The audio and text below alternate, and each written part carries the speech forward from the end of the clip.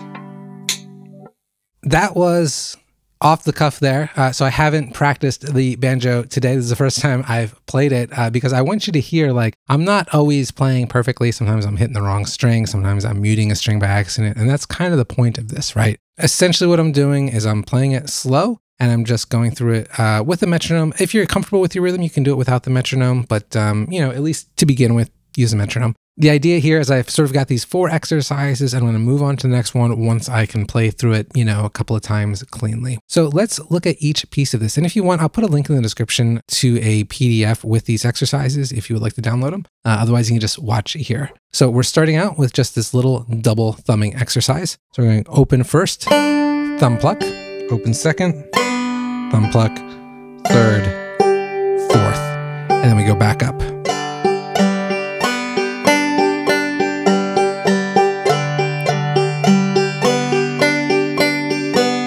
Just like that. And what I'm concentrating on is getting the index finger strike and the thumb pluck at good volumes and everything sounding clean and just hitting those strings accurately, right? Uh, and then all we do is we uh, replace the double thumb pattern with the bum diddy brushstroke pattern. So now it's just going to be one, two, and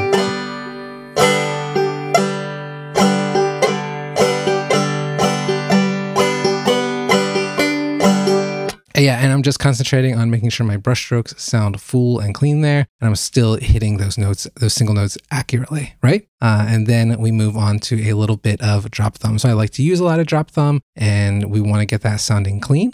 So all I'm doing here is just open first, second, third, open. And we do that twice or four times. Sometimes I'll do it twice, sometimes four times, depends. Uh, and then we go second, third, fourth, fifth. So, so you put it all, all together, it's just. All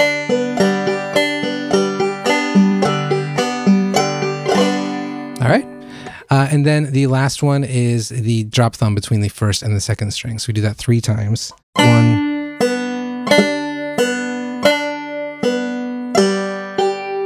And on the fourth one, uh, the fourth beat, I'm just doing open third, thumb pluck on the fifth. So.